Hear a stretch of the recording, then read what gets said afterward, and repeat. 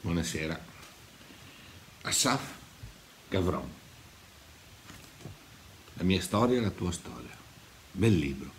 Asaf Gavron è un rappresentante di questa nuova onda di autori, scrittori israeliani, è stato tradotto anche molto in Italia. Questo è un libro, uno dei primi libri che ha scritto del 2006. E ha scritto La collina, un bellissimo libro, Idromania, che stranamente non mi è piaciuto, Le 18 frustate, altro bellissimo libro che ho recensito in questo canale. E adesso parliamo di questo, La mia storia e la tua storia. Allora, pubblicato nel 2006, scritto in quegli anni, erano gli anni degli attentati, gli anni in cui, durante i quali eh, i palestinesi eh, facevano degli attentati nei, nei, ristoranti, nei, nei, bar, nei tram, ed è stato un periodo molto, molto difficile, molto duro nei rapporti fra Israele e i palestinesi. Un periodo di guerra continua, di guerra strisciante, ma neanche tanto strisciante, di reale, morti che si accumulavano da tutte e due le parti.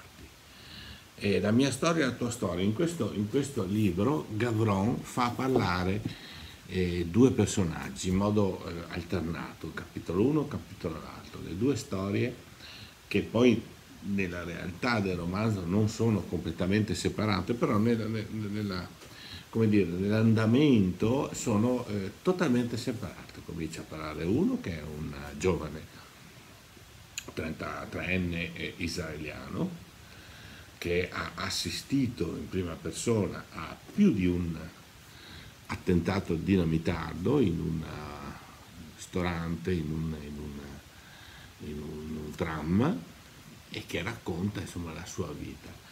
Quell'altro invece è la storia di uno eh, palestinese che è in un letto. Allora, questo palestinese ricorda, ma è, è probabilmente in coma, no, non in coma perché non potrebbe pensare, ma non è in grado di, di parlare, non è in grado di, di esprimere, no? però pensa, ha delle sensazioni, perché ha delle sensazioni? Perché nell'ospedale dove è ricoverato e ha delle cannette per l'urina e cannette per tutto, quindi è in condizioni molto, molto critiche, molto gravi. Ogni tanto arriva qualcuno che gli fa i massaggi, che lo tiene in vita, evita le, le piaghe, eccetera.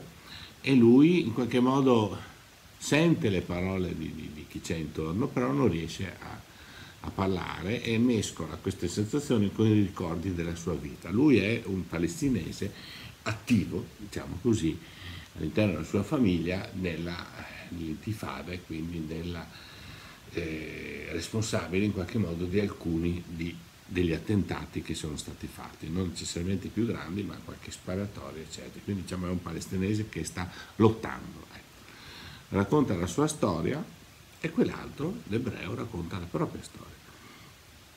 In alcuni momenti, in più di uno momenti, le due vite eh, si sono intrecciate. Prima naturalmente del momento in cui questo, questo palestinese era, è andato appunto in ospedale. E appunto ci sono alcuni intrecci che naturalmente non, non sto qua a raccontarvi, se no sarebbe, eh, vabbè, insomma, non ha senso più leggere il libro, alcuni intrecci che rendono questa storia molto molto bella, cruda, perché non viene risparmiato, però qual è la, la cosa più interessante? che riesce l'autore, e non tutti sono in grado di farlo, a entrare in modo molto preciso nelle due mentalità. Diciamo, non è un libro dell'israeliano che racconta anche dell'arabo, ma quando diciamo, fa parlare l'arabo eh, riesce a farlo in modo molto, molto efficace, riesce a descrivere quello che pensa, quelli che sono i suoi eh, progetti per il futuro, quella che è la sua storia, quello che, che, è la storia della sua famiglia, i suoi amori, le sue speranze, il suo rapporto con la religione, eccetera. Quindi riesce a mettere in luce due diverse mentalità, due diversi modi di, eh, di essere. Chi mi ha seguito in qualcuno dei miei libri sa già che questi sono i libri che io preferisco, quelli dove si riesce a a unire, a mescolare modi di, di, essere, modi di pensare, modi di vivere diversi e si riesce a, come dire, descriverli rispettandoli o perlomeno conoscendoli senza mettersi su un piedistallo da una parte o dall'altra. Ecco, quindi un bellissimo libro da leggere, sono molte pagine. Se ha un difetto questo libro non è certo del romanzo, purtroppo questa edizione, io ce l'ho della Mondadori Strade Blu, e ci sono molti errori di stampa, ma molti, oh, molti. quando uno ne trova una, una, ventina, una trentina in un libro sono molti.